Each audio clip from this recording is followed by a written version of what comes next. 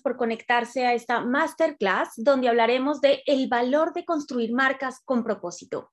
Ahora más que nunca las marcas necesitan definir la identidad y valores fundamentales para seguir siendo relevantes y marcar una diferencia en la vida de todos los clientes. Simon Sinek dijo una vez que la gente no compra lo que haces, compra lo por qué lo haces. Encontrar el propósito de la empresa y alinearlo con el mensaje es fundamental para crear lealtad de cliente. Los clientes que respetan y comparten los valores realmente respaldarán el propósito de la marca. Y esto se ha hecho mucho más evidente, mucho más fuerte a raíz del el COVID-19. Nadie mejor para dimensionar este nuevo rol de las marcas que nuestra profesora Olga Mardones, profesora UDD y directora Brand Insights en Alma Brands. Los dejamos invitados a seguir explorando este apasionante mundo, este apasionante tema que trataremos hoy en esta masterclass en el curso que desarrollaremos más adelante.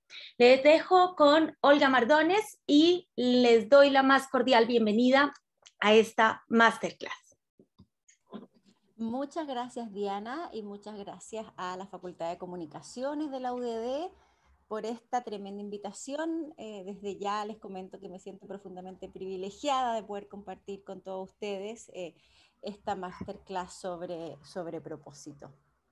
Solo contarles que, tal como Diana comentaba, soy profesora en la UDD, eh, soy psicóloga de profesión y tengo más de 20 años de experiencia trabajando en estrategia de marca, en investigación de mercado, tanto en Europa como en Latinoamérica y estos últimos siete años más específicamente en Chile. Vamos entonces con nuestra clase y partamos con contexto, en qué contexto estamos y qué desafíos tenemos para construir marcas de alto valor.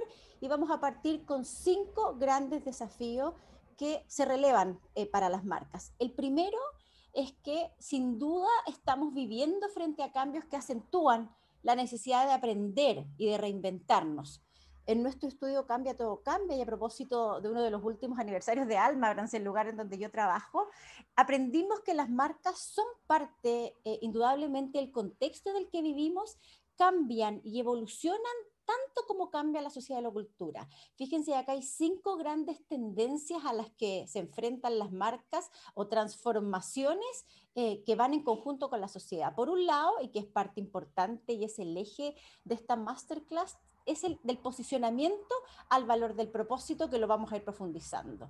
Un segunda, un segunda, una segunda transformación tiene que ver con pasar de la diferenciación, que es muy fácil de empatar eh, por las marcas, a la relevancia como estrategia competitiva. Y desde ahí la relevancia eh, tiene que ver con cuánto como marcas somos capaces de ajustarnos y de responder a las necesidades de nuestros consumidores, clientes, ciudadanos, como cada uno, cada una quiera llamarlo. La tercera transformación tiene que ver con el rol que está jugando el marketing hoy en día y que ha pasado de ser lo que había sido históricamente eh, full enfocado en la publicidad al marketing como una propuesta de valor que también se centra en satisfacer necesidades, beneficios funcionales emocionales y por supuesto valores mucho más trascendentales. La cuarta transformación tiene que ver con el mundo interno, con los colaboradores, con los que son parte de cada una de las organizaciones, de cada una de las marcas y que pasan a ser simples trabajadores o simples colaboradores a ser embajadores estratégicos de la marca y su propósito. Son nuestros mejores embajadores, son los que transmiten la cultura, son los que logran transmitir la esencia de lo que hace cada una de las marcas que tiene un propósito. Y por supuesto, una quinta transformación, y a propósito de nuestro estudio, y creo que en Alma Brands llevamos siete años realizándolo, es de la confianza tradicional a la nueva confianza pasamos de una confianza más basada en el respaldo, lo vamos a ver un poco más adelante en profundidad, en el respaldo y la cercanía, valores, valores muy tradicionales, a una nueva confianza y que se aplica no solo a marcas, hoy en día ustedes lo saben, se aplica a personalidades públicas, políticos, organizaciones e instituciones, a una nueva confianza que tiene que ver con la honestidad, con la transparencia, con la responsabilidad y con la empatía de verdad. Ese es el primer elemento del contexto. El segundo, elemento, el segundo elemento del contexto tiene que ver con que el significado simbólico de las marcas viene cayendo. Y la pregunta es a los que estamos en el mundo del marketing, ¿y cómo hacemos ahora entonces para construir marcas como lo hacíamos antes. O sea, antes lo hacíamos desde otra lógica y hoy en día todo está cambiando y nos impone nuevos desafíos. Me imagino que todos recuerdan, porque fue, fue noticia en, en medios masivos, un estudio que decía que si desaparecieran el 75% de las marcas, a los consumidores no les importaría nada. Una pena, ¿no? Una pena, terrible porque dice tanto esfuerzo que se han puesto, pero probablemente es que esas marcas no están construidas a partir de un propósito y de ahí probablemente tiene que ver con la menor importancia que le asigna el consumidor hacia esta marca desaparece. Pero si lo vemos desde la cifra, y desde el estudio Chile 3D de GFK, desde el año 2020, cuando uno mira el índice de capital de marca desde, eh, de, marcas de excelencia, fíjense desde el año 2009 que el índice de capital de marca tenía una puntuación, un valor de 830, cuando nos vamos al, eh, al, al, al 2020, en pleno estallido social, el valor de las marcas de excelencia ha bajado 100 puntos, es decir, estamos en una crisis no menor de valor de las marcas que hemos conocido históricamente. Por supuesto que también han habido eh, ciertos hitos que han ido mermando este valor y esta confianza en las marcas, como la crisis de la Polar, las colusiones en el año 2016-2017, eh, etc. Si nos vamos al tercer elemento del contexto, es que el comportamiento de consumo de las personas va mostrando, eh, y con el tiempo se ha ido acentuando, señales de cambio en el sentido del consumo y va a seguir cambiando. Y desde ahí la invitación a todos los que trabajan con marcas eh, es a ser responsables de acompañar y construir este nuevo sentido. Desde los años 50, y aquí podemos hacer todos un mea culpa, todos los marqueteros hemos ido retratando y popularizando lo que representa la buena vida. Y lamentablemente la buena vida tenía que ver con consumir todo lo que puedas y el concepto del Morris Better. Y ese concepto la sociedad nos dijo genial y nos lo compró. Y desde ahí el ideal y el imaginario en torno al buen vivir se centraba en seis grandes conceptos en vivir en casas grandes, en gastar sin medida, en manejar solo y ojalá un auto lo más grande posible, en desechar sin medida, es decir, comprar, apareció el fast fashion, esto, oye, es por temporada lo que me estoy comprando y por lo tanto se acabó la temporada y aunque esté usable todavía, sigo sin lo desecho y no lo vuelvo a usar y compro algo nuevo. En consumir alimentos ultraprocesados, aquí también la inmediatez, la instantaneidad, no quiero, no quiero disfrutar de cocinar, hasta hace pocos años eh, no era un gran valor y por supuesto lo que yo les decía recién, todo de forma muy inmediata, esto de un estudio de, de Abbas en el año 2017. Pero como les decía, afortunadamente para nosotros eh, ha ido cambiando esta concepción del consumo y el imaginario del buen vivir parece estar cambiando significativamente. Y cuando uno, y, les recomiendo revisar la página de Harris Paul, eh, son una consultora eh, estadounidense que hace unos muy buenos estudios sobre insight del consumidor. Ellos hacen un estudio que estamos esperando con ansias. Eh, el último estudio sobre The Good Life en inglés, esto siempre suena bien, pero es un poco este buen vivir ¿Y qué, qué, me reporta a mí o qué yo siento que es el buen vivir? Y fíjense que para el 36 de las personas es la simplicidad, el balance, la salud y la felicidad. Para un 28% no menor son las conexiones significativas con las personas, con la comunidad y con el medio ambiente. Bajando ya tenemos un 26%, es decir, prácticamente uno de cada cuatro, nos habla de dinero y de la capacidad de poder disfrutarlo. Ahí todavía quedan probablemente algunos resabios del buen vivir que, habíamos entendido por muchos años. Y solo un 10% considera que el buen vivir está vinculado a las metas personales, carrera, educación. Es decir, si antes, voy a retroceder una página, si antes era vivir en casas grandes, ahora era era vivir de forma compartida, gastar solo lo justo, compartir, todo lo que sea compartir el espacio, el auto, etcétera, comprar lo menos posible. En el caso de la alimentación hemos vuelto al back to basic, al origen, al producto más natural y por supuesto que el todo inmediato, algo mucho más disfrutable y valorando mucho más lo que tiene tiempo y lo que puedes cuidar con, con ese tiempo en el fondo. En cuarto lugar, en este contexto, eh, les comentábamos, ¿no? que se revela con mucha claridad la necesidad eh, de una nueva ética para generar confianza, una nueva conciencia, particularmente en todos los que trabajamos eh, con marcas, y el desafío de una mayor empatía en todo lo que hacemos. Y aquí eh, están súper invitados a visitar la página web de Almabrands, donde están los resultados de, los, de las siete mediciones anteriores que hemos hecho de nuestro estudio. Y creo que es un estudio que mide confianza en marcas, empresas y organizaciones y que aproximadamente en septiembre-octubre vamos a tener la medición 2021 que va a estar súper interesante. Es prácticamente con, con, con, un año y medio de, de pandemia incorporado.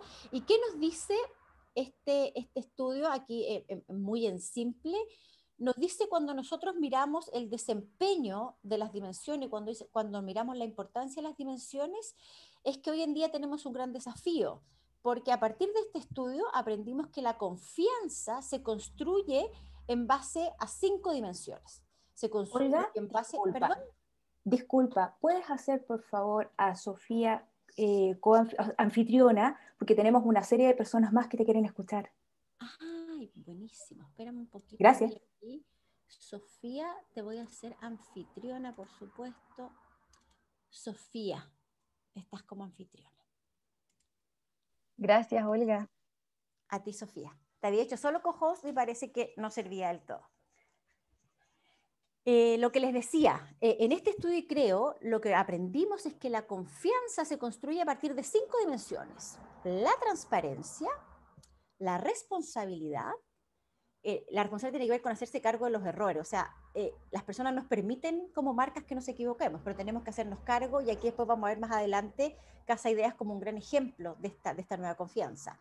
La empatía es ponerse de verdad eh, entender muy bien y comprender y responder a las necesidades que tienen los consumidores, el respaldo, que es un poco más el, respaldo histórico desde la trayectoria, y la cercanía no solo desde comunicacional, desde el tono del lenguaje, sino que también desde el acceso. Y lo que aprendimos con este estudio es que las dimensiones de la confianza tradicional, respaldo y cercanía, tienen un mejor desempeño, pero a la gente le importan mucho menos. Fíjense en esta, tabla de doble entrada y si ustedes se fijan, tenemos un tremendo desafío. Ustedes saben en, esta, en estas tablas de doble entrada que el, el, cuadrante deseable es el de arriba a la derecha. Pero la nueva confianza le importan mucho a las personas, es decir, cada vez más valoran que las marcas sean transparentes, responsables y empáticas, pero justamente son las dimensiones menos, menos desarrolladas por las marcas hoy en día. Así que si quieren ver resultados, ranking, las marcas que tienen eh, mejor desempeño en cada una de estas dimensiones, los invito a revisar en la página de Alma Brands están los últimos resultados que son los del año pasado. En quinto lugar, y por último, en, el, en, en temas de contexto, y aquí tenemos un gran desafío porque dado este contexto previo que les comentaba de tantos cambios, se refuerza con más eh, ímpetu la necesidad y el desafío de construir y desarrollar marcas con propósito. ¿Por qué? Porque hoy día las marcas no son privadas. Las marcas son públicas y son políticas y tienen un claro rol social. Después vamos a ver algunos ejemplos de esto. Y aquí Hoy en día, los ciudadanos hoy día tienen expectativas mucho más amplias sobre el rol que las empresas deben jugar en la sociedad. Y aquí el, gran Maturana que nos dejó hace muy poco, él lo decía, nosotros decimos que no hay empresas privadas porque son públicas. ¿Y por qué son públicas? Porque se sostienen en una comunidad, es decir, no viven aisladas, son parte de una, comunidad a la que pueden impactar, ojalá positivamente, pero reconozcamos que también las impactan negativamente y aquí en este país lamentablemente hay bastantes casos de empresas, marcas que impactan negativamente a las comunidades en las que se insertan y desde ahí, al estar insertos en una, comunidad, juegan un rol público y tienen un rol muy importante en construir una mejor sociedad para todos. Y más aún, entendiendo que a propósito, en el caso de Chile, del estallido social y luego de la pandemia, el retroceso que vamos a tener en términos de desigualdad, en este caso de igualdad, es decir, vamos a tener cada vez más desigualdad, va a tener eh, un gran impacto en muchas familias. Estos datos son de un conversatorio que nosotros hicimos el año pasado, que se llama Cambia Todo Cambia, en el cual además tuvimos el privilegio de compartir con, por ejemplo, con Alejandra Pizarro, directora ejecutiva de la Comunidad Organización Solidaria, o Leonardo Moreno, que en ese momento era el director ejecutivo de la Fundación para la Superación de la Pobreza. ¿Qué encontramos ahí? Si ustedes se fijan, eh, previo a la crisis COVID-19, el índice de pobreza económica, solo la que se mide en términos eh, de, cifras económicas, era del 9,7%. Pero la proyección es que esta pobreza económica, más allá de la pobreza multidimensional, creciera cuatro puntos y en Latinoamérica eh, podría llegar al 35,5%. Es decir, una de cada tres familias podrían estar en pobreza económica en el continente. Alejandra Pizarro en ese momento nos lo decía, las cifras van a aumentar dolorosamente. Nos decían que un 8% vivía bajo la línea de la pobreza son cifras dramáticas. Convivir con menos de 250 mil pesos al mes y dolorosamente la pobreza media multidimensionalmente, que es la que considera otros factores sociales, alcanza el 20%. Y si ustedes se fijan, lo que nos está diciendo Alejandra es la dura realidad de las cifras de la pobreza en Chile, que el 30% de los chilenos vive en situación de vulnerabilidad. Me imagino que todos recuerdan esta noticia que apareció en la tercera, pero que después apareció en, televisión, esta niña, Sofía Canales, que junto a su mamá, la mamá le sostenía el celular para que ella copiara las guías de estudio que le mandan las profesoras por WhatsApp. También aparecía, recuerdan, esta niña que se subía al techo de su casa para tener una mejor señal. Es decir, cuando uno piensa en que la educación probablemente es el pilar de construir una mejor igualdad, un país de más oportunidades para las personas, tenemos un desafío enorme y las marcas no pueden estar silentes en esas situaciones. Y los desafíos además también se vinculan con que seamos capaces de cuidar y regenerar para sostener nuestro planeta. O sea, todos recordamos eh, a, la gran Greta Thunberg eh, que partió con una huelga por el clima eh, hace 3, 4 años, y hoy en día estamos cada vez más concientizados de su valentía y de su mensaje. En plena pandemia veíamos cómo animalitos circulaban por las ciudades y, cuando uno lo piensa es porque no estábamos nosotros, los humanos, y ellos se sentían mucho más seguros llegando a lugares donde nunca eh, habían estado. Y aquí una recomendación con todo el cariño de que cuando puedan eh, le echen una mirada a la teoría del donut, del donut tal como dice la, la rosquilla, el donut eh, de Kate Rayworth, donde lo que ella propone es que tenemos un tremendo desafío para diseñar el futuro. Y ella en su teoría del, donut, lo que nos dice este, en este donut que está aquí, es que nosotros tenemos una base social que es como el mínimo que necesitamos para vivir, en el exterior del donut tenemos este como tope ecológico, que es como cuando ya los recursos no dan más los recursos naturales, y lo que ella propone es para no vivir ni en el déficit ni en el exceso, ella dice, vivamos, trabajemos para construir una economía regenerativa y distributiva en este espacio, que es el espacio más justo y más seguro para la sobrevivencia de la humanidad, del planeta. Es un tremendo mensaje, impone tremendos desafíos, pero ustedes, toda la literatura que quieran mirar, su libro de Donuts Economics está disponible en varios lados libremente. Así que a revisarlo, que ahí nos plantea un tremendo desafío. Y por lo tanto, fíjense, las marcas hoy en día están enfrentadas a muchísimos desafíos. A partir de ahí, ¿qué significa entonces construir marcas con propósito? Primero, y desde la definición más tradicional, son empresas, marcas comprometidas no solo con tener buenos resultados desde lo económico, es decir, en el negocio, sino que además están comprometidas y profundamente comprometidas con generar un impacto positivo en el mundo y en la sociedad. Y aquí el gran Paul Polman, que fue CEO de Unilever Global por muchos años, él nos dice, por un lado, que tenemos que encontrar la forma de construir un mundo más sustentable para asegurar que las compañías como las nuestras, en ese caso se refería a, Unilever, van a continuar sirviendo a las personas y mejorando sus vidas por otros 100 años. Y desde ahí nos dice, y este es un desafío que yo ya planteaba, que es importante que los marqueteros empecemos a pensar las marcas como ciudadanos, es decir, como marcas que tienen la responsabilidad sí o sí de promover, de compartir y de ayudar a generar eh, este cambio.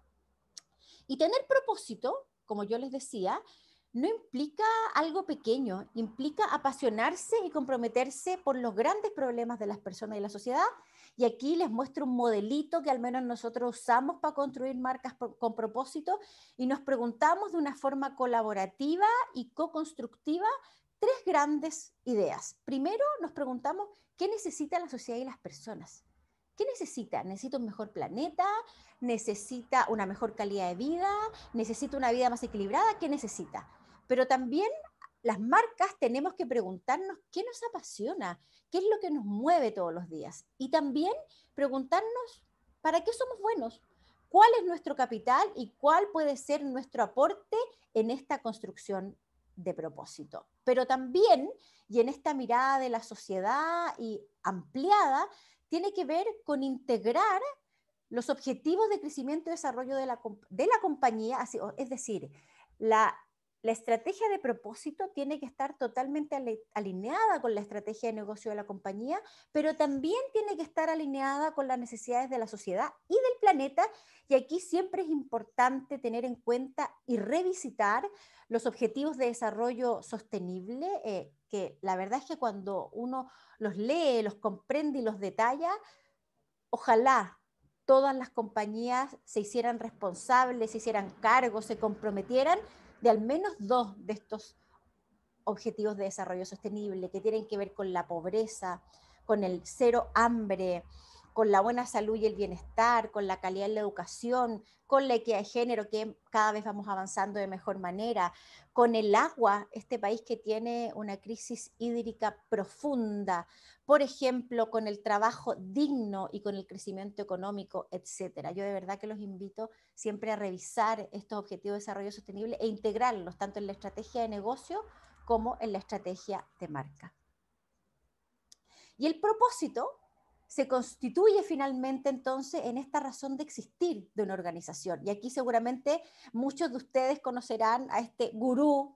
Nosotros internamente tenemos una broma en Alma con el tema del SAR, eh, este gurú de las marcas que es el gran Simon Sinek, que con él aprendimos eh, este tema del Golden Circle. ¿Y qué nos dice Simon Sinek?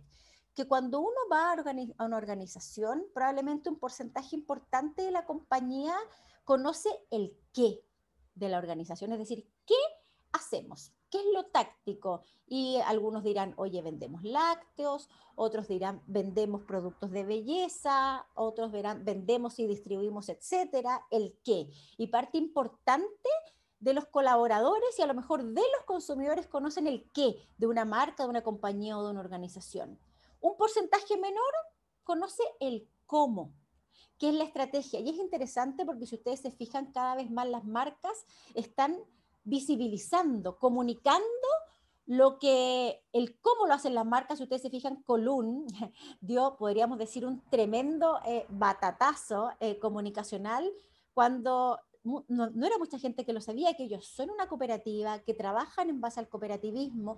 También fue una, un buen hit cuando dijeron que su leche no era leche reconstituida. O sea, ahí eh, se empiezan a remecer eh, las bases de una categoría y se pone muy desafiante para todas las marcas que están en la categoría. Pero muchos menos son los que saben el por qué, la razón de existir. Y ahí es donde tenemos que trabajar, es decir, efectivamente tenemos que tener claridad del qué, del cómo, pero sobre todo del por qué, porque es este por qué es este why, es esta razón de existir la que le da sentido eh, a todo lo que hacemos. Pero no de cualquier forma, no puede ser solo desde el consumo, tiene que ser desde la empatía social totalmente conectado. Fíjense, y aquí este es una comparativa de una gran pregunta que hacemos en nuestro creo que dice en qué temas sociales debieran involucrarse, tener opinión o participar las marcas. Y esto se le pregunta a más de 1.500 personas. Y de acuerdo a los datos del año pasado, ya vamos a tener los datos 2021, el 54% dice debiera, las marcas debieran involucrarse, tener opinión o participar de temas vinculados al acceso y la calidad de la salud, un 42% acceso y calidad de la educación, un 39% desigualdad social y pobreza, un 38% adulto mayor, un 37% cuidado del medio ambiente y el cambio climático, es decir, o sea, todo lo que tiene que ver con el estado del bienestar social que tan afectado se ha visto en esta época de pandemia. Solo para comentarles, los que están en rojo son temas que crecen significativamente respecto a la medición 2019 y eso era salud, igualdad de género, eso me pone muy contenta, que cada vez vamos avanzando en, en temas de paridad, equidad y justicia en género. Pero también es importante asumir que la construcción de propósito es un proceso y no depende solo del gerente general, no depende solo del gerente marketing, no depende solo del nivel ejecutivo de una compañía. Tiene que involucrar a toda la organización. Y esta eh, escalerita o progresión es una tremenda herramienta cuando nosotros trabajamos con marcas con propósito, porque es importante entender que es un proceso que toma su tiempo, pero que también a medida que se va articulando el propósito y a medida que se va integrando en los distintos procesos de la organización, nos vamos convirtiendo cada vez en una marca más sustentable. Fíjense que el nivel 1, el nivel convencional, probablemente nosotros comenzamos con muchos clientes en ese nivel, son marcas que no tienen un propósito claramente definido o si existe o si lo han definido, es bastante como tradicional, es bastante funcional su definición. Pero a medida que vamos avanzando, como yo les decía, comienza, por ejemplo, en el nivel 2 y el 3 a incorporarse como una prioridad en el management, está totalmente vinculado con la estrategia de negocio y, por ejemplo, la capacitación y los incentivos se entregan como un esfuerzo para activar el propósito. Y cuando ya nos vamos al nivel 4 y el 5, ya tenemos un propósito claramente definido, articulado, priorizado, medido, que es muy importante, medir cómo vamos avanzando en la implementación de nuestros propósitos y está activado en toda la organización, en todos los niveles, en la estrategia de negocio, en la estrategia de producto y por supuesto también a nivel del marketing. Y también hay bastante más vinculación de los stakeholders con los temas de propósito. Es un camino que hay que recorrer, los clientes eh, a veces nos preguntan eh, y nos dicen, eh, ¿cuánto nos, vamos, y ¿cuánto nos vamos a demorar? Toma tiempo, pero hay que ser consistentes, hay que ser coherentes y hay que perseguir que esto logre llegar a toda la organización, impacte positivamente a las comunidades en las que estamos, etc. ¿Dónde encontramos, por supuesto, propósitos que resultan ser claros e inspiradores? Puede que algunos los hayan visto, puede que algunos los desconozcan más, pero al final me gustaría cerrar con un video que, comillas, es bastante exclusivo, lo ha visto muy poca gente, así que vamos a cerrar con eso. Airbnb. Esta era una marca que partió siendo una marca de alojamientos a bajo costo. Así partió Airbnb. Y hoy en día reorientó toda la dirección de la compañía con un propósito vinculado a una motivación universal que tiene que ver con el deseo de pertenencia. En inglés suena muy bonito su propósito, yo siempre lo digo, y es belong anywhere. Ahora si lo llevamos a, nuestro amado español, que sí es mucho más emocional, hacer que las personas de todo el mundo sientan que podrían pertenecer a cualquier parte. Es decir, cada vez que tú vayas a un lugar, sientas que estás en tu lugar y afectivamente te sientas parte de ese lugar. Qué lindo este propósito, ¿no? Luego tenemos Lego. Hoy dicen, bueno, pero esto es una marca para niños. No, nada que ver. Es una marca que hoy en día trasciende la edad e invita a construir el mañana. Es decir, desde los más pequeños hasta los más grandes. Cuestión, yo aquí tengo un Lego Fans pequeñito y un Lego Fans grande. Así que aquí, aquí en esta casa se compran autitos que se arman, pero también se compran naves de Star Wars enormes que se arman con este Lego. Y la invitación en su propósito de Lego es inspirar y construir a los constructores del mañana tremendo, tremendo desafío puesto preliminarmente en la infancia, que tenemos que cuidarla todos, pero también en los adultos que quieren ser parte de esta honestidad y de, esta transparencia de la niñez. IKEA o IKEA, como queramos nombrarlo. Yo debo decirlo, yo me declaro una fan absoluta de, IKEA, así que tengo unas ganas enormes de que, llegue, de que llegue pronto a Chile. Yo les recomiendo ir con una libretita y anotar lo que van a comprar, porque si no podrían quedar desbancados rápidamente. Pero tiene, fíjense que IKEA, hace muchos años, esta, esta marca sueca, partió con la idea de democratizar el diseño. Y es decir, oye, ¿por qué el diseño tiene que ser tan inaccesible para las personas? Y desde ahí han ido evolucionando a este propósito que tiene que ver con crear una mejor vida cotidiana para la mayoría de las personas. Pero imagínense, hoy, hoy en día tienen una estrategia de sustentabilidad que cualquier marca se la quisiera, que es pública, eh, además, así que cuando quieran pueden visitarla en, en la página de IKEA o IKEA. Y esta marca eh, me toca profundamente, es una marca muy bonita, Kind, aunque ustedes no lo crean, es una marca de cereales. Y Kind tiene como propósito hacer el mundo un poco más amable y ellos lo llaman a esto el movimiento Kind. Y su propósito en un perfecto inglés es We've been on a mission to make the world a little kinder. Y su historia es tremenda porque el actual CEO es hijo del fundador ¿Y por qué esta marca se llama Kind? Porque su papá eh, fue prisionero de guerra en un campo nazi. Y él eh, dice y expresa, y a partir de ahí surge Kind, es que él es un sobreviviente solo por la amabilidad de la gente que lo ayudó a salir de ese campo de concentración. Eh, a mí, de verdad, yo cuento la historia y se me paran los pelos con la historia de, de porque a partir dijo, yo quiero seguir, como dicen ellos, spread, spread kindness, seguir repartiendo amabilidad en el mundo. Y si ustedes se fijan en algunas de las cifras que están aquí, han invertido mucho dinero en causas de caridad, llevan un contador de actos amables de sus colaboradores y de la comunidad, 50.000 horas del equipo en voluntariado, han alcanzado más de 50.000 personas con estos actos de, de, amabilidad que ellos dicen. Voy a compartir, voy a mostrar un video que de todo corazón espero que funcione y que todos lo escuchen muy bien. Así que háganme una seña, Diana, Alejandra y Sofía, que están por ahí, si es que se escucha y se ve bien. Estoy conectando para que se vea perfecto you know where the name Not because they're kind of tasty. Mm. They're delicious. Tastes really good. It's not because the people who make them are kind to their ingredients, although they are. And it's certainly not because when their founder, Daniel Lubetsky, was growing up in Mexico City, he was some kind of child prodigy magician. This is Daniel today. Wow. Here he is with Pope. Here he is with Barack Obama. And here are some priceless works of art priceless to Daniel because they were made by his children. They're contemporary masterpieces. He still does magic, but we don't have the heart to tell him that he's not really a magician.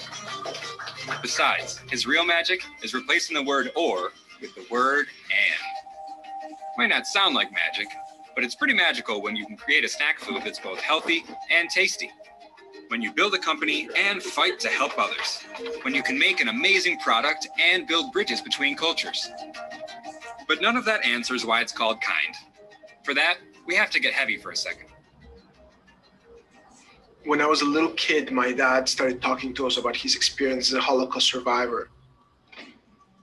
Not just was it horrible, but also how he survived because of the kindness of strangers.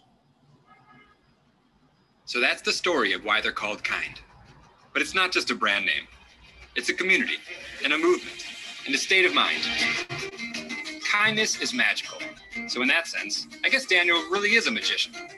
We don't just aim to have great products that sell well and be beloved. We aim to change the way people see business as a force for social good. That's what we're here to do today. They say you are what you eat, and it matters what you're made of. That's why every kind product is a reminder to be kind to ourselves, our bodies, our taste buds, and the world. That's right.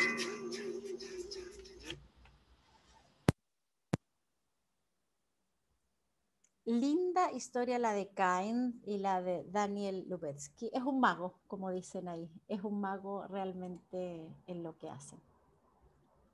Natura, otra tremenda marca eh, que está totalmente convencida que puede crear productos que tienen la ética como ingrediente principal de una red de personas, además, que trabajan y construyen por un solo propósito. Y, y, uno dice, bueno, también hay que hay harto de creatividad en los propósitos también, ¿no? Su propósito es dejar el mundo más bonito, pero por ejemplo, fíjense en una de las últimas campañas que hicieron Black November, su, claim, que no es lo mismo que el propósito, pero que es una expresión de él, nos dice bueno para ti, bueno para el planeta. Es decir, de verdad que hay un convencimiento en todo lo que hacen y desarrollan que está muy alineado con ese propósito. Y si nos vamos a lo local, te dicen, bueno, pero aquí hay puras marcas internacionales. No, o sea, hoy en día están internacionales los amigos de Algramo, pero claramente Algramo, emprendimiento local, un orgullo chileno, que es una marca que se propone cambiar la forma en la que consumimos eh, diariamente de una forma más justa, de una forma más redistributiva y de una forma, por supuesto, eh, más sustentable. ¿Y por qué? Aquí, aquí, está la gran pregunta. Uno dice, ya, bueno, qué bonito esto, ¿no? Mira qué bonito que hacen las marcas, pero ¿por qué construir marcas con propósito? Porque hoy, más que nunca, las personas buscan y valoran marcas ciudadanas, marcas con un rol social y marcas con sentido. Fíjense que nosotros aquí hablamos de la paradoja del propósito, porque cuando uno les pregunta a las personas eh, si están de acuerdo con que las marcas deben tener un propósito, el 82% te dice que las marcas deben tener un propósito. Pero cuando empezamos a, profundizar en ese deseo, solo un 48% eh, declara conocer alguna marca que tenga propósito. Ahora, si les preguntamos cuál es el propósito, probablemente el gap sería aún mayor en el fondo. Y aquí, más que pensar en, esta paradoja, hay que pensar en, lo malas que somos las marcas para comunicar nuestro propósito, para hacerlo visible, para que el consumidor lo entienda y por lo tanto eh, nos prefiera. Cuando uno mira, por ejemplo, el estudio de marcas ciudadanas eh, de CADEM, fíjense que aquí la barra verde, yo espero que ustedes también la vean verde, son las marcas ciudadanas y la barra morada es el total de las marcas. Y las marcas ciudadanas, es decir, las marcas con propósito, las marcas que están más comprometidas, en general generan KPI mejores en presencia, en relevancia, en memorabilidad, en experiencia, en generar emociones positivas, etcétera. Es decir, tienen mejores indicadores. Y más aún, eh, y aquí también nuevamente insisto, eh, las marcas estamos cada vez más desafiadas porque las nuevas generaciones nos muestran con claridad los valores que debieran movilizar a las empresas. Nosotros en alguna consultoría con un cliente regional, una cosa muy interesante que nos decía su gerenta de personas es que más que ella entrevistar a su entrevistado, era el entrevistado el que le preguntaba a ella cosas sobre las marcas. Era un millennial o centennial que le decía, oye, ¿y ustedes tienen propósito? ¿Y ustedes cómo activan su propósito? ¿Y qué cosas hacen para visibilizar su propósito? Y ahí se presenta eh, un tremendo eh, desafío. Cuando uno mira este, estos datos de, Deloitte, eh, fíjense que la pregunta que se hace en amarillo es lo que los millennials piensan que las marcas debieran lograr, en amarillo. Y en verde, lo que están haciendo, lo que ellos piensan que, el, negocio y las marcas están haciendo hoy en día. Y aquí me quiero quedar eh, en, dos datos. Fíjense que el 55% cree que las marcas hoy en día están tratando de generar eh, profit, ganancia, beneficio, pero el 28% cree que no deberían estar tan centrados en esto y sí deberían estar centrados en otras cosas que están más altas en amarillo más adelante, en mejorar la vida de sus empleados, en mejorar la sociedad. Por ejemplo, reducir la inequidad, generar iniciativas de diversidad, en mejorar y proteger el medio ambiente, en producir eh, bienes y servicios de alta calidad. Es decir, ahí tenemos un desafío súper importante respecto a lo que nos están planteando eh, los millennials. ¿Y por qué tenemos que construir propósito? ¿Por qué tenemos que trabajar en el propósito? No solo construirlo, sino que activarlo exitosamente, porque vamos a ver que tiene un impacto súper positivo en el crecimiento de las marcas, en el valor percibido de las marcas y por lo tanto en la preferencia hacia esa marca, en todo lo que tiene que ver con compromiso y engagement y en la capacidad de atraer talento. Nos convertimos en marcas mucho más atractivas a la hora de atraer talento. Fíjense, en este estudio que se hizo con CEOs alrededor del mundo, eh, casi cada tres de cada cuatro compañías reconocen la relevancia del propósito para el crecimiento de su negocio. Y cuando uno compara eh, el impacto de tener una marca con propósito que están en esta columna versus marcas solo transaccionales, las marcas con propósito tienen mejores resultados en crecimiento en ventas y en ganancias de la compañía y los porcentajes son bastante impresionantes. Cuando además le preguntamos a los consumidores finales, esto también es de nuestro, y creo que desde el 2020, que se hizo a más de 1.500 personas, se le pregunta a la gente considerando los siguientes tres tipos de marca. Marca con propósito, marca conveniente y marca de calidad.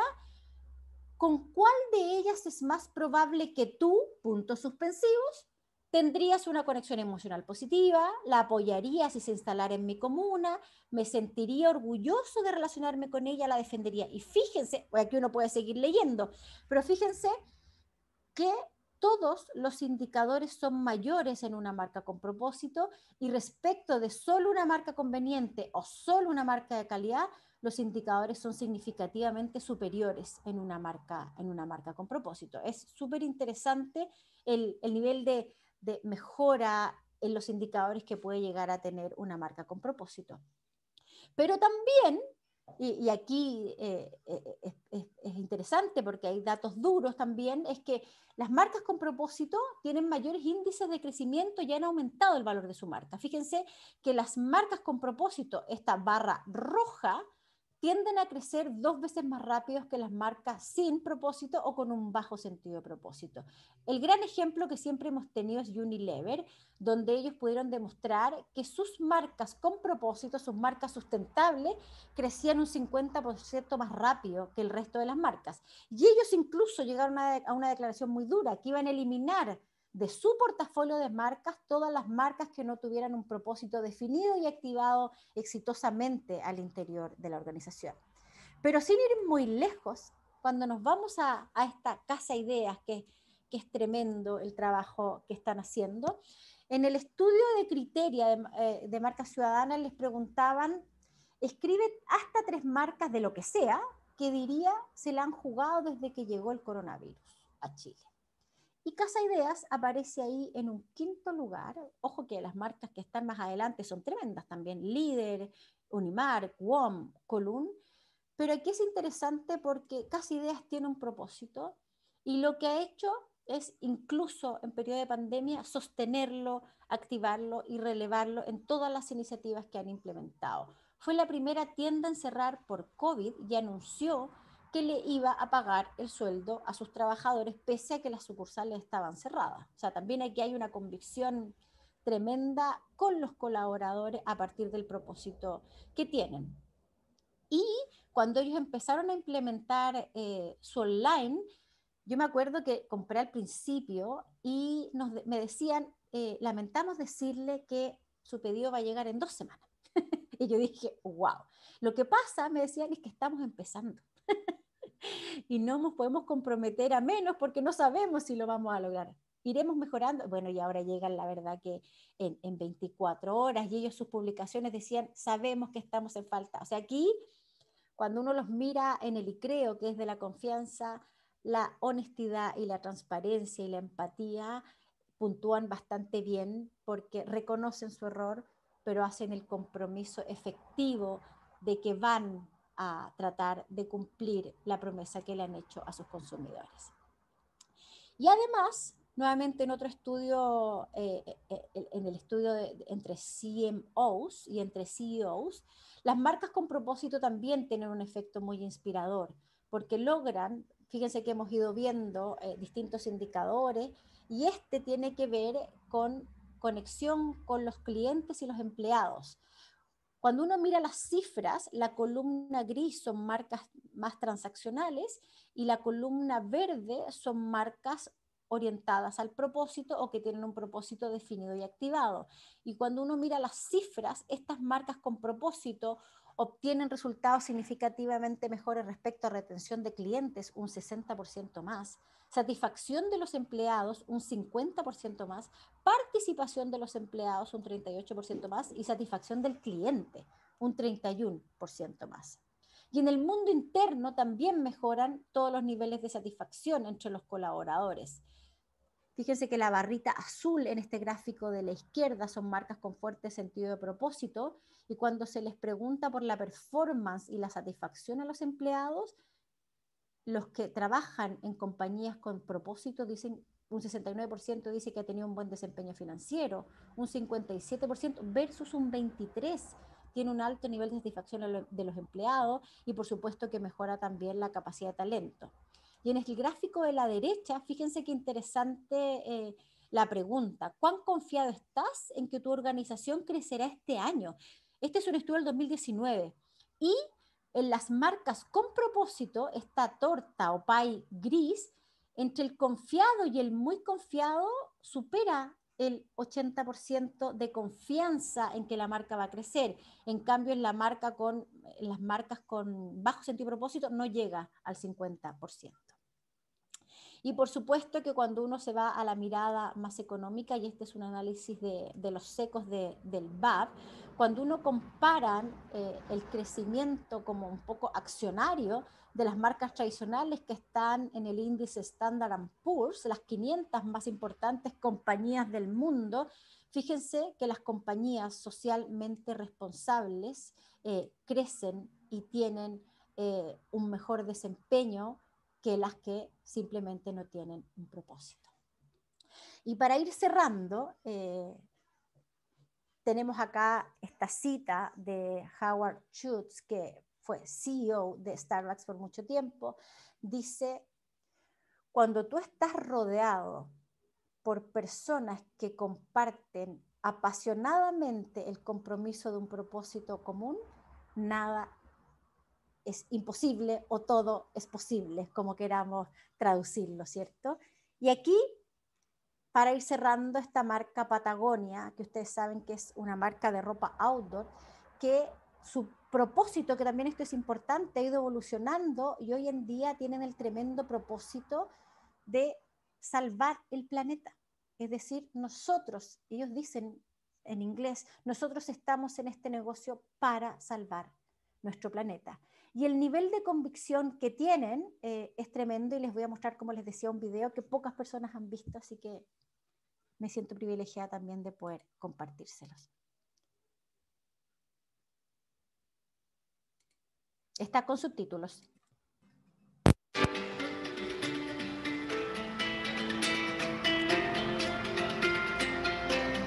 This is the story of millions and millions of people and a brand that understands them.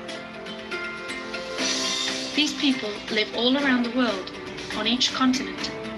They are of different genders, races, creeds, and ages, but they have something strong in common a passion that unites them. These millions of people love nature, and they love being in contact with it. A brand was born with a similar passion, founded by Yvon Chouinard, an American rock climber, surfer, kayaker, falconer, and fly fisher. Nature was not a choice he sat down and made one day, but a way of life. In fact, the icon of his brand is Cerro Fitzroy, the Argentine mountain range, chosen because his dream was to be able to one day climb it. Fitzroy lies in Patagonia, Argentina, and that iconic brand, as you may have guessed, is Patagonia. Their commitment to nature is such that, for the last 45 years, Patagonia has been in business at the cutting edge of environmental activism and sustainable supply chains. They even said in one ad, don't buy this jacket. In perfect harmony with their mission to build the best product, cause no unnecessary harm, use business to inspire and implement solutions to the environmental crisis. In just the last few years alone, Patagonia has expanded its used clothing program, amped up its investment in sustainable startups, and launched an activist hub to connect its consumer base directly with grassroots environmental organizations. Patagonia is giving back $10 million in tax cuts to these environmental organizations. In a perfect world, the brand purpose and sustainable ambition build the same story. At the end of 2018, Yvon Chouinard upped the bar once more, changing the wording of Patagonia's purpose to something more direct, urgent, and crystal clear. Patagonia is in business to save our home planet. Saving nature is Patagonia's business. The new purpose impacts every single job in the company. Six months ago, Chouinard gave the HR department some new marching orders. Whenever we have a job opening, all things being equal, hire the person who's committed to saving the planet no matter what the job is. Chouinard says to expect the company to speak up more loudly and often. Patagonia became one of the first consumer brands ever to make the endorsement of specific candidates part of its brand market. Those who are seriously committed to saving the planet. Because there are millions and millions of people of different genders, races, creeds, and ages who have a passion that unites them. They love nature and don't want to lose it.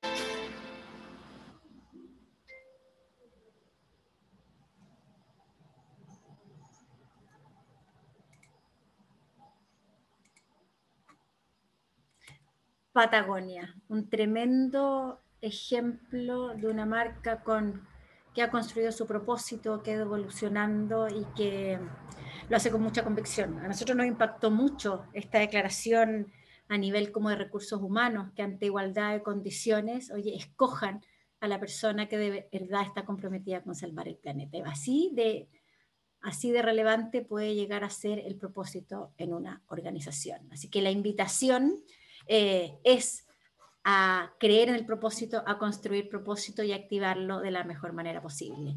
Y por supuesto que a todos y a todas las que quieran profundizar más eh, y aprender de alguna forma a construir propósito, a construir marcas con valor y con propósito, quedan cordialmente invitados al curso que vamos a realizar sobre la construcción de marcas con propósito en agosto. Así que toda la información en la Facultad de Comunicaciones de la UDD. Muchas gracias. gracias, Olga. Y tenemos, vamos a dejar un pequeño espacio para responder algunas preguntas claves que nos han ido haciendo a lo largo de tu eh, exposición. La primera tiene que ver con, eh, por parte de Carolina Carrillo, que dice, ¿cómo se logra posicionar una marca con propósito cuando el producto de esa marca es un intangible como la palabra hablada? Y entre paréntesis, radio. Ah, pero las radios ahí tienen un tremendo desafío. Voy a poner mi audífono de nuevo. Eh, las radios tienen un tremendo desafío ahí porque finalmente en las radios hay una promesa. En las radios hay una promesa. Yo les cuento que las radios en nuestro estudio, y creo que mi confianza es la categoría mejor posicionada. Es maravilloso porque finalmente son una fuente de información. Aquí no hay que pensar, en, eh, hay que pensar en qué es lo que entrega la radio finalmente. Y la radio finalmente no solo entrega información, la radio entrega compañía, entrega entretención y finalmente a partir de lo que hay que construir, a, la persona que preguntaba, Carolina, creo que, que, era su nombre, Carolina tiene que ver con construir a partir de los beneficios que entregan las radios, más allá de la información, más allá de la noticia. Entregan valores trascendentales bastante más profundos y que han tomado mucha más relevancia en pandemia. Entregan compañía, entregan entretención, es decir, eh, los intangibles son totalmente construibles a partir desde un propósito. Así que la invitación eh, es hacerlo. O sea, el, el, como digo yo, el terreno está absolutamente fértil en el mundo de las radios, además en una categoría que goza de muy buena salud, tanto en términos de confianza como en, en salud de marca. Perfecto, muchas gracias Olga. Tenemos otra pregunta de J. Salazar que dice, ¿cómo hacer marcas con propósito sin caer en el greenwashing? Es decir, que se use este propósito solo para un tema de posicionamiento. ¿Habrá alguna experiencia negativa? O sea, hay infinitas, o sea, yo creo que uno de los grandes cuestionamientos tiene que ver con marcas que declaran un propósito o que hacen ciertas iniciativas como aisladas y que efectivamente lo que están haciendo es el famoso greenwashing, que es un poco lavar la imagen para hacerte ver un poco más verde, como digo yo. El problema es que con poco tiempo avance se van, a se van a dar cuenta que esto no es consistente en el tiempo, que esto no hay convicción y que por lo tanto empiezan a haber ciertas brechas en otros ámbitos de la activación del propósito y en vez de querer ser verdes se tienen que empezar a poner coloradas. Yo siempre lo digo, o sea, el greenwashing tiene el gran riesgo de por querer ponernos verdes nos terminamos poniendo colorados porque realmente no se está haciendo de verdad, no se está haciendo con convicción y no se está implementando en todos los espacios en los que el propósito tiene que activarse y terminan siendo iniciativas totalmente aisladas. Perfecto. Ya vemos también otra eh, pregunta de Paz Bartolomé que dice, eh, ¿cómo decidir un propósito y sostenerlo? ¿Y cómo elegir sostener y sostenerlo especialmente cuando perteneces a una institución enorme siendo parte de un departamento? Wow, tremenda pregunta. Mira, primero eh, hay dos cosas, hay dos niveles. Primero es que el propósito se tiene que co-construir con toda la organización. Aquí uno dice, soy parte de un departamento. Nosotros en, un estudio que próximo, próximamente vamos a presentar, eh, que tiene que ver con el propósito, el propósito, por un lado, incluye ciertos stakeholders en su, en su construcción y que pueden ser toda la línea ejecutiva, es muy importante también implicar a los directorios, es decir, si los directorios de las compañías están implicados, es mucho más fácil construir un propósito, pero también hay que implicar a los colaboradores, ¿sí?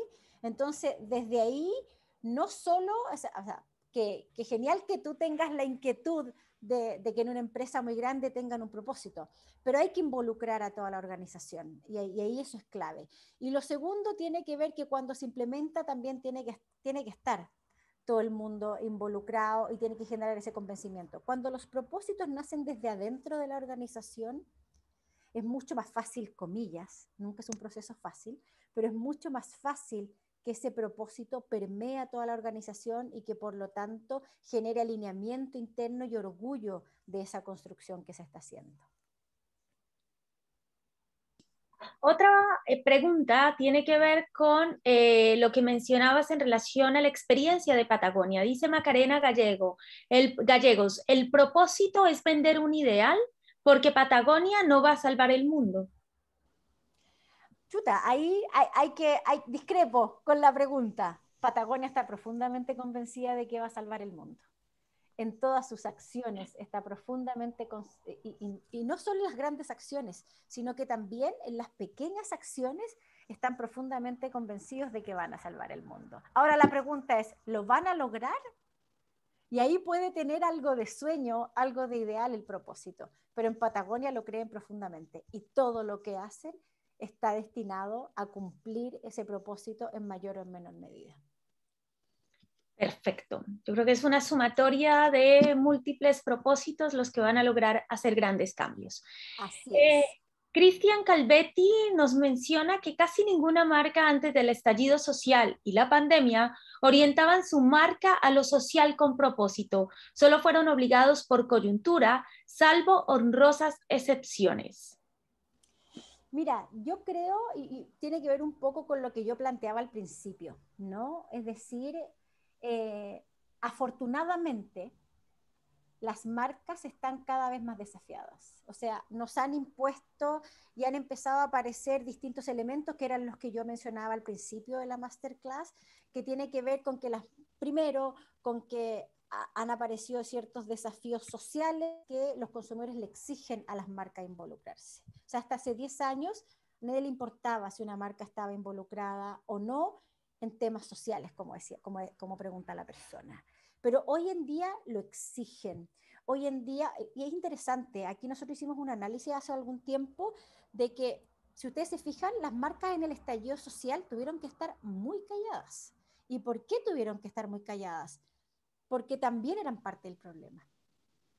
Porque eran parte de esta sociedad que nos invita mayormente a consumir, a ser mucho más individualistas y post estallido social y a propósito de la pandemia, finalmente, y, perdón que lo vea así, pero finalmente esta pandemia ha sido una tremenda oportunidad para las marcas para, en lugar de estar en pausa, trabajar internamente en su propósito en activarlo, en, visibilizarlo, en concientizar a toda su organización, en involucrarlos. Eh, claro, antes nos exigía y hoy en día hay una serie de elementos del contexto donde hoy en día a las marcas se les exige más y la marca que sale, que se queda atrás, va a quedar fuera. O sea, el riesgo de que te vaya mal y que tengas que desaparecer es tremendo. Yo aquí les voy a contar algo súper personal. Nosotros tenemos un cliente del mundo de las mascotas. Mi amiga Diana lo sabe. Eh, yo partí trabajando con este cliente ni gustándome ni teniendo mascotas y hoy en día tengo dos gatos. O sea, el poder, la convicción de una marca me traspasó totalmente a mí. Y ellos pasaron por una crisis, por una contingencia importante el año pasado. Y yo me acuerdo de haber tenido una conversación con su CEO y él me dice, Olga, eh, ellos pasaron de tener un equipo de marketing de dos personas, casi nada presupuesto hace seis años, siete años, hoy día tienen propósito prácticamente todas sus marcas y lo están activando en todas sus marcas, incluso en la marca corporativa. Y él, o sea, yo de verdad estábamos online, yo de verdad que lo habría abrazado ese día, porque él ese día me dice, Olga, si nosotros no hubiéramos tenido un propósito definido y comenzado a activar, nosotros habríamos salido muy mal parados de esta contingencia. El propósito nos ayudó a tener un norte. El propósito nos ayudó a tener claridad de cómo actuar, bajo qué lineamientos actuar y resolver esta contingencia y quiénes eran el centro del cómo resolver esta contingencia que, les afectó fuertemente. Pero cuando uno después, cuando ellos después luego de la contingencia cuando está todo un poco más tranquilo, más resuelto, empiezan a hacer mediciones otra vez de imagen, la marca se vio muy poco afectada. Y eso es ese convencimiento que ellos tenían de que el propósito los iba a salvar de alguna forma. Bueno, como efecto especial, ladrido en el momento en que hablábamos de eh, marcas como para mascotas, pero parte del ejercicio. Eh, Tamara Puki nos dice eh, cómo traspasar la inspiración del propósito de una compañía a todo el equipo para generar una universalidad de conceptos y un fin óptimo. Mira, ahí lo que habitualmente se hace, Tamara, escuché que era su nombre, ¿cierto, Diana? Gracias. Tamara, eh, ahí lo que habitualmente se hace, primero lo que yo les he dicho todo el rato, ¿no? Que ojalá que el propósito se co-construya con toda la organización y que todos sean parte de esta construcción del propósito. No es que todos van a redactar, pero sí se hacen levantamientos donde se involucra parte importante de la organización para levantar aquellos elementos que nos ayudan a construir el propósito. Eso es lo primero. Y lo segundo tiene que ver que una vez que está definido el propósito y validado, por supuesto, por todas las líneas ejecutivas, lo que se hace son generar eh, talleres o sesiones de alineamiento para que cada colaborador pueda participar de estos talleres de alineamiento y pueda de alguna forma hacer ciertos ejercicios, al, menos nosotros en Alma Brands los hacemos, que, cada, que cada colaborador pueda bajar este propósito al cómo le impacta en su trabajo. Y ahí se pueden hacer ejercicios muy bonitos de, de, oye, cómo me impacta a mí, cómo me impacta en la relación con mis compañeros, cómo me impacta en mi trabajo, generar ciertos decálogos que surgen a partir, o manifiestos que surgen a partir del propósito, pero la verdad es que hay bastantes herramientas para lograr el alineamiento interno. Se pueden vincular a los KPI laborales, es decir, que tienen que ver con, con incentivos, con metas, etcétera. Es decir, hay distintas herramientas súper interesantes, más, menos inspiradoras, más funcionales, más emocionales, para lograr eh, que, el, que, el, propósito se active en la organización y generar un alineamiento interno eh, en ese propósito. Perfecto. Y ya para finalizar, una última pregunta de Carolina, que dice, ¿Cómo se puede construir una marca desde el propósito para una marca personal más pequeña? Ah, mira, yo, yo reconozco eh, que yo no he trabajado mucho en temas de, branding personal, pero yo ahí la invitación a Carolina, eh, primero, si es un emprendimiento, eh, cuando partes de, desde cero, es mucho más fácil construir una marca con propósito porque nace desde la esencia. O sea, la verdad es que ahí el desafío es a mirar, hay una serie de, charlas, de TikTok, de, de Talk de, por ejemplo, de Simon Sinek. Simon Sinek ha ido evolucionando ya no, él, ya nos impregnó a todos con su Golden Circle y su construcción de propósito. Ahora él está mucho más enfocado en marcas personales, marcas más pequeñas, cómo pueden construir propósito, Carolina. Y yo te digo honestamente, yo no he trabajado mucho en eso, pero si es una marca pequeña, eh, si es un emprendimiento, es mucho más fácil nacer con un propósito tenerlo desde el origen que construirlo después y a medida que aumenta el tamaño también se empieza a ser un poco más complicado. Pero, pero la invitación, hay, hay mucha literatura, eh, el mismo Simon Sinek, que es un tremendo gurú del tema de las marcas, eh, tiene bastante desarrollado eh, estos temas. Bueno, y ya para finalizar, no puedo dejar pasar algunos comentarios de Cristian Calvetti en relación a dos temas importantes. Uno, las marcas no han educado al consumidor en Chile. En la mayoría está presente solo la venta. Y al final nos dice, los estudios debieran apuntar a comunas de alta complejidad social. Allí Patagonia u otras no son conocidas y los consumidores valoran, los, valoran otros atributos. Desde mi punto de vista, allí pruebo realmente mi marca la pruebo en la realidad con personas que no tienen condiciones para comprar, sino en algunas, en algunas supervivencias. Es lo que nos indica eh, Cristian Calvetti. Entonces, aquí es un tema de alto alcance, de muchos puntos de vista. Lo importante es poder identificar cómo las marcas contribuyen y participan decididamente en crear un mundo mejor y no solamente un mundo orientado al alto consumo. Suena como label de, querer vernos bien, pero realmente si queremos sobrevivir como especie humana debemos apuntar justamente hacia ello. Quiero agradecer a Olga Mardones su participación en el día de hoy y en especial a todos y cada uno de ustedes que nos acompañaron en esta mañana como Facultad de Comunicaciones y de, de la Dirección de Posgrado. Estamos realmente emocionados y encantados de poder ah, estar con ustedes durante este periodo en una gran compañía con una persona bastante interesante que sabe mucho del mundo de las marcas y con las cuales queremos invitarles a que participen en el eh, curso que justamente va a desarrollar cada uno de estos temas, cómo aplicarlo, cómo estructurarlo de una mejor manera esta marca con un propósito. Nuevamente, gracias por su participación y nos vemos en una próxima oportunidad. Una feliz, eh, un feliz día para todos y feliz semana. Hasta luego. Hasta luego. Muchas gracias a todos.